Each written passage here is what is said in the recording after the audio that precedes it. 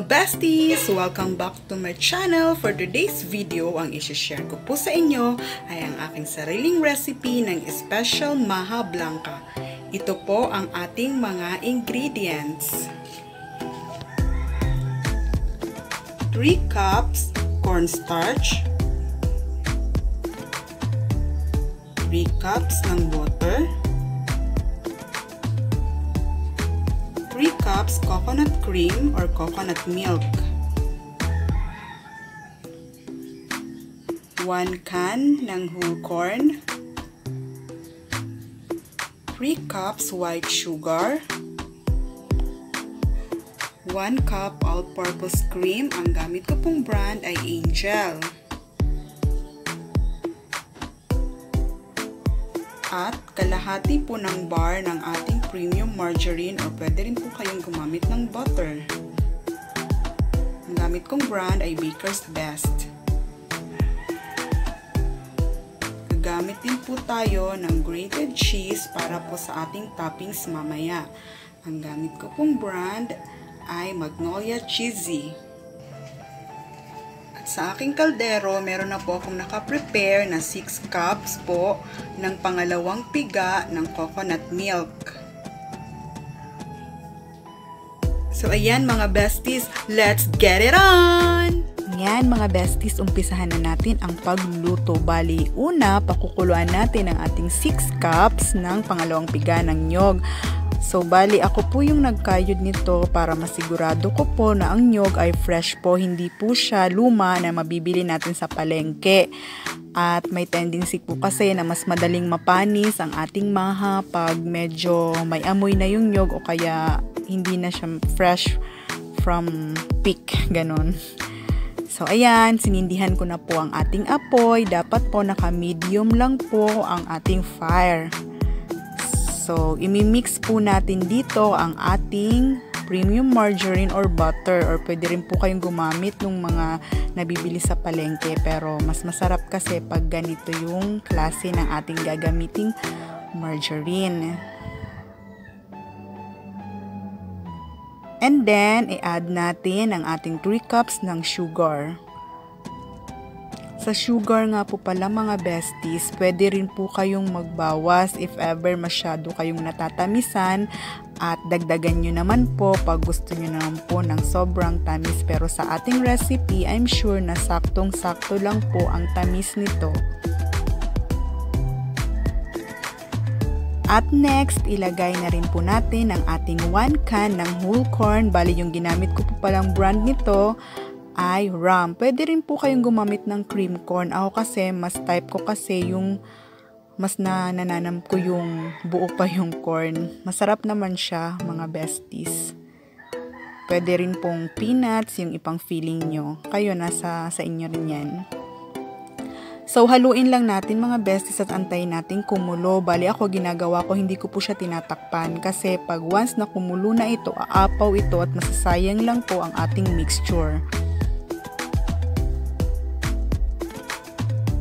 So ayan, next mga besties, habang inaantay natin kumulo ang ating mixture, bali tutunawin natin itong ating 3 cups ng cornstarch sa ating 3 cups ng water.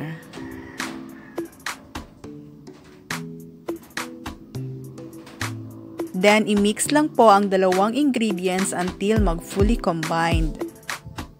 Madali lang matunaw ang cornstarch mga besties. Pero madali din po itong lumubog uli sa tubig kaya bago natin ito isalang mamaya ay hahaluin po natin ito uli para maiwasan natin ang pagbuo-buo nito. Ganyan kaselan ang ating mahana recipe. So ayan, mixed mixed, halo-halo lang mga besties. So, ayan na mga besties, kumukulo na ang ating mixture. Bali, habang kumukulo ito, pwede na nating i-add ang ating 3 cups ng pure coconut milk or unang piga ng nyog. So, dahan-dahan lang natin siyang ibuhos, mga besties. Ingat lang na hindi tumalse kasi mainit. At pagkatapos, E next nating i-add ang ating all-purpose cream na 1 cup po. Bali kung wala po kayong all-purpose cream, pwede naman pong 1 cup ng evaporated milk. Okay lang po yung 1 cup kasi meron naman tayong ano eh, fresh na coconut milk. So, pampadagdag sarap lang yan at linamnam sa ating special Maha Blanca. And then, pag na-add na po natin ang dalawang ingredients, pwede na po natin itong haluin at antayin po natin na kumulo po ito uli bago natin isalang ang ating natunaw na cornstarch. Again, wag po ninyong takpan kasi aapaw po ito. Lalo na pag hindi nyo po nabantayan masasayangan ang yung ating mixture. Halo-halo together.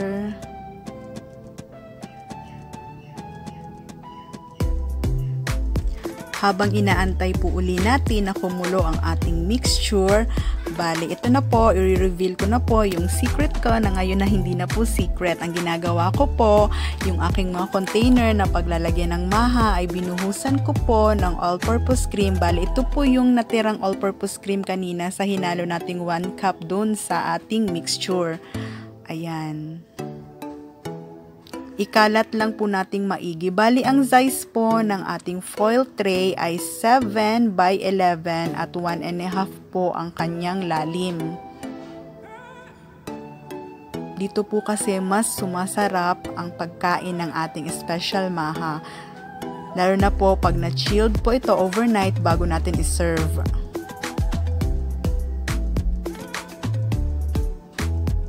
At maglagay din po tayo sa ating mga container or clear pack. Ito po ay 500 ml. Bali, ni-ready ko lang po if ever po na may natira pong mixture sa ating maha ay ilalagay po natin dito. So, dapat handa po tayo. So, ikalat lang natin. Tapos, pwede nating dagdagan para po masakto po yung sukat. So, kalat-kalat lang natin mga besties.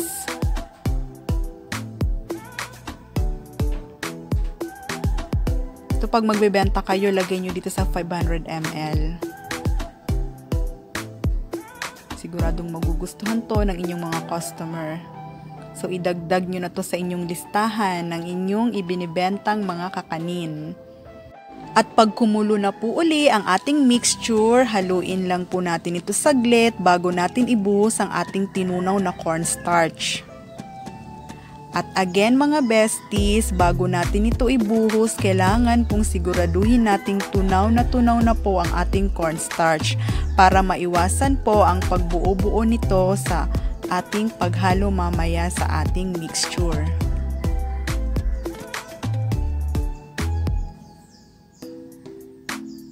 At ibuhos na po natin ang ating cornstarch sa ating mixture. Make sure po na lagi po nating hahaluin, wag po tayong titigil para hindi po magbuo-buo ang ating cornstarch. Ayan, umiibabaw po talaga ang butter or premium margarine.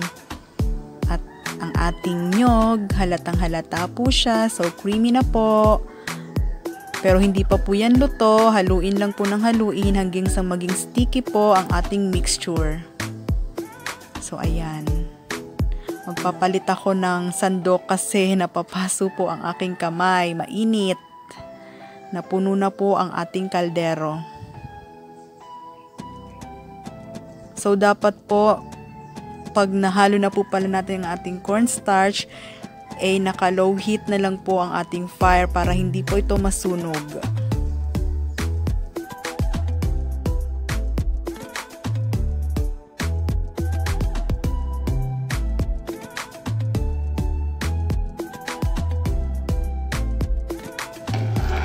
Besties, medyo nagiging makinis na po ang ating Maha. Pero hindi pa po yan lutong-luto kasi medyo runny pa siya.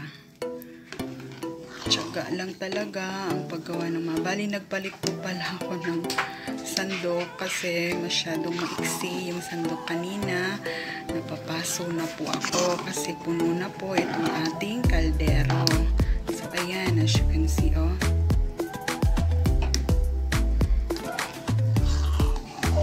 Sobrang dami experiment na ginawa ko bago ko ma-perfect talaga ang aking special maha. Kasi nung nag-umpisa pa lang ako, since 2016, ito po, dito po nagsimula ang Sweet Wendy. Bali, 2016 po, ito po muna yung binibenta ko online. Hanggang sa nadagdagan po, nagkaroon ako ng puto cheese, sapin-sapin, kutsinta,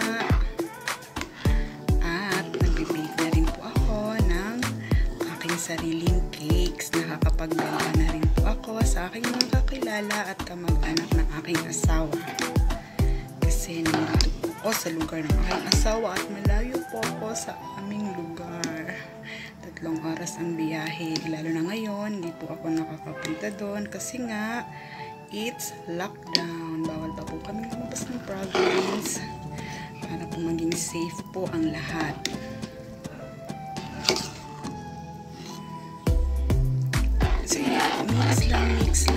Mix lang po tayo. Kailangan po talaga ang ating braso ay nakahanda pag gagawa tayo ng special maha. Ang sikreto lang talaga sa maha para hindi po matigas at kahit i-chilled na siya, kinabukasan kainin mo, malambot pa rin siya, lagyan mo ng maraming liquid.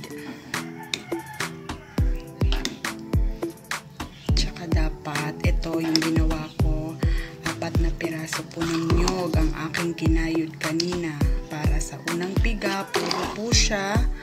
At sa pangalawang piga dun na lang po ako nagdagdag ng tubig.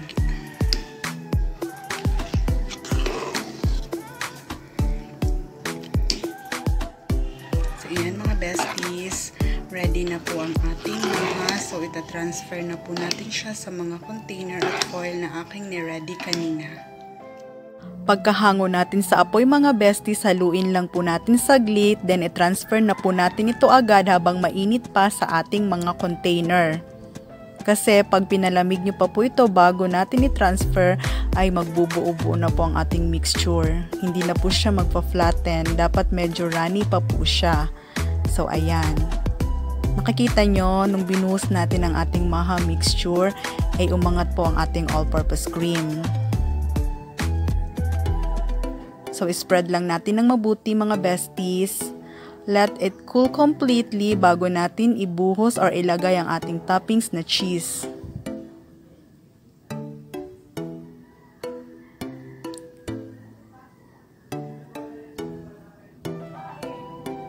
At dahil may sobra pa po ang ating mixture, malalagyan ko pa po ang ating 500 ml na clear pack. Then, spread lang natin mga besties. I-cool po natin completely bago natin i-chilled.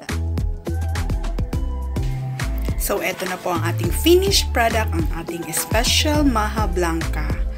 So, yan, nakita nyo. Umibabaw yung kanyang all-purpose cream sa gilid. Meron tayong prepare dito para sa ating pagtikim mamaya. Hindi ko muna siya nilagyan ng cheese para pag tinaob ko, doon ko nalalagyan ng cheese para ma-feel nyo kung gaano kasarap ang ating recipe. Ayan, kung pang negosyo naman po mga besties, ilagay nyo lang po sa 500 ml na clear pack. Pwede nyo po itong ibenta ng 60 to 70 pesos. Depende po kung magkano po yung mga nagastos nyo sa ating ingredients. Siyempre, para hindi naman po maumay ang ating customer, yung original recipe na ating maha ay dinagdagan lang natin ng twist. Tikiman time! Before natin tikman mga besties, sa mga hindi pa po nakaka-subscribe sa aking YouTube channel, please subscribe and click the notification bell para ma-update kayo sa mga bago ko pang uploads. At kung nagustuhan nyo ang aking video, please click like and you can share it. Ayan. Ito mga besties na chilled na to ng anim na oras. dinamihan ko talaga yung cheese para mas lalong masarap. So, ayan, titikman na natin. If I were yung mga besties, gayahin nyo na to. Promise, so masarap. Napalaki. Wait. Mm. Malambot. Masarap talaga yung maha. Pag maraming cheese, lalo pa, nilagyan ko ng all-purpose cream, at marami siyang liquid. Kaya mga best nakikita niyo. Oh. Pwede nyo rin ipang filling ang peanuts. As ipang toppings, pwede rin siya. So creamy, so yummy, special Maha Blanca. Thank you for watching mga besties. Bye!